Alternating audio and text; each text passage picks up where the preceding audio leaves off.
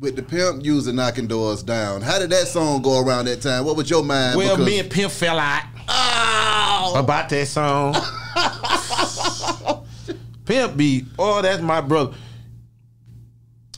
Red Boy, which was which is bond manager, um, and he was doing manager for Pimp at the time. He came with the song, knocking those down. He was like, "Pimp, want to get you on this song." Well, it's my hook. It's me. It's my sample. Yeah. So what Pimp was talking about, I really didn't want no part of it. You know what I'm saying? Like he do it immediately. He do He it. done cussed Pimp. everybody He out. cussed everybody out. He do it him. I'm like, man, I'm not fit to do. I don't want in. Let you do it. That's what you do. He didn't got on it. I want this kind of various. I'm like, man. So I told Red Boy, Red Boy, you know that ain't what I'm talking about when I'm saying knocking door. And Red Boy was like, man, just do you. Yeah. So I just did me. Yeah. Oh, he he won't be to just do me. so,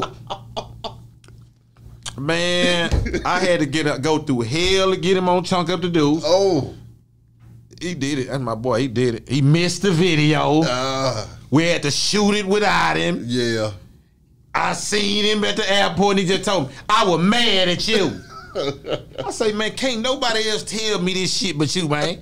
You know what I'm saying? But that's my dog. And the, and the song, and what's so crazy, man, everything's so crazy. Chunk Up the Deuce might be one of my biggest, it is, it might be one of my biggest streamers. So, Yeah. yeah. Break down that chunking up the deuces, man.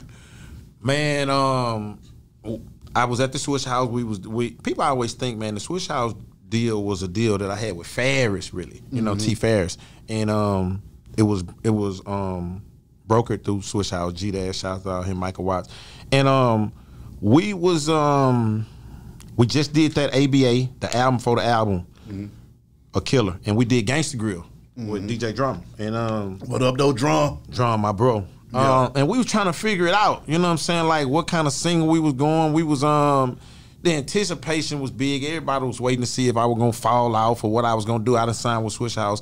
And we was just trying to um the chunk up the deuce, man, actually it had a different beat. It was a Twilight Zone beat, and we couldn't get a sample. We couldn't get the sample cleared, and we was trying to say it was just me and Paul, and we was just like, man, right then that was our circle, sort of. You know, the Swish Yeah. House circle, the Rap-A-Lot circle, Bun. I was on draped up with Bun, and. Yeah. It, it was kind of going in a circle. So we got Pimp and Bun. They was fresh and what they was doing too, because Pimp was just back home, and it was a.